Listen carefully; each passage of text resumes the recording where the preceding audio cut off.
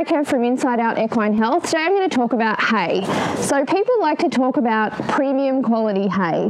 Um, to me, premium quality hay is hay that is clean, dust-free and mold-free. Aside from that, all hay has a place in the equine diet and is not necessarily, one is necessarily premium quality over the other. Premium quality hay is the hay that is right for your horse. So let's talk about a few hays that we've got here. So let's start off with the really obvious one. So we've got your lucerne hay, which is really, really high in protein and calcium, really, really high in calories and really, really palatable.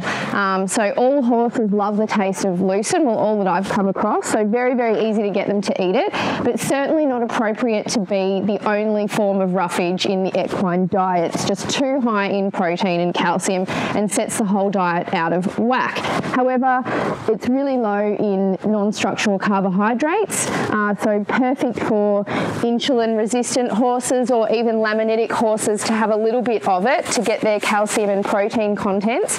And as you can see, very, very palatable even to uh, the fussy thoroughbred.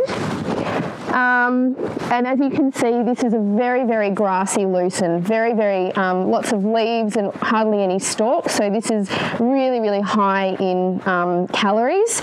And um, to, to, get rid of these calories, you would have to shake off all the leaves like this, um, leaving the stalks, or you could, of course, soak it as well and get rid of the water that it is soaking in.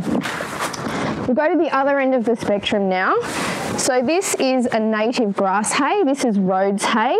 Um, really, really low in calories, sugar, protein, everything like that, but a, a fantastic source of roughage. Um, and if you've got a horse locked up, if you've got a laminitic horse, if you've got a, a really, really overweight horse, this is the perfect thing to feed it. Horses need between one and a half and two and a half percent of their body weight in roughage every single day. So for a 500 kilo horse, that's about 10 kilos of hay each day or food a day.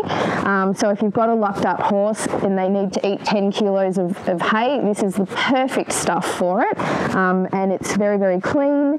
Um, Okay, we've got a rye here, so a fairly green rye. Again, um, depending on the horse and its needs, this could be appropriate. It's got a tiny little bit of clover in it to make it a little bit tastier.